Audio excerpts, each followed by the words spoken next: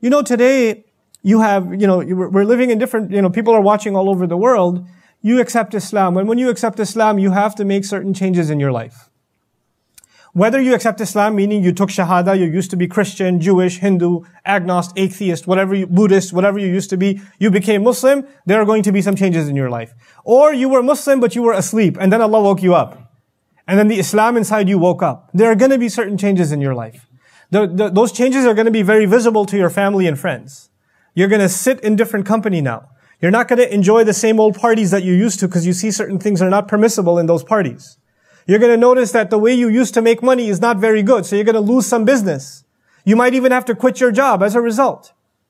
There were some associations, friends, you know, affiliations you used to enjoy and they were a regular part of your life and you've cut yourself out of those associations because those things led to bad, bad to worse to worse to worse. So you're going to become more and more and more isolated when you turn, when you take your religion seriously at first because there are certain things your religion doesn't allow you to do. And the people around you have no problem with it. So they'll notice that you've become weird. You've become isolated. You've become cut off. And they're gonna call you a fool. And when you try to give them da'wah, or you try to say, hey, you should listen to this. Hey, why don't you come to the masjid with me? They're gonna say, no, you want me to be like you? Is that, is that what you want? You want me to be, be turned into a weirdo extremist like yourself?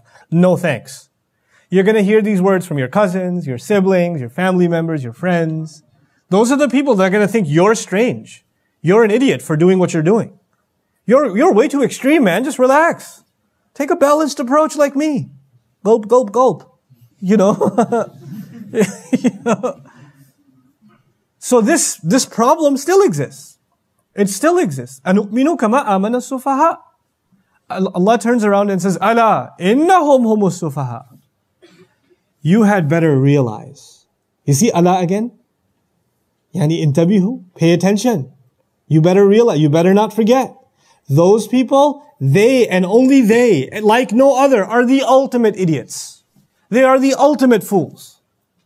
In what sense are those people fools? Now, I told you what they thought of as foolish. They thought of as foolish that you're missing out on life. You made all these sacrifices for what? Jannah is easy, man. You don't have to make all these sacrifices be a little bit good in Ramadan, catch the 27th or something, and you'll be fine. You know? But then, on the other side, when Allah calls them fools, He has a different definition of fool, doesn't He? So we have to think about, how does Allah mean fool?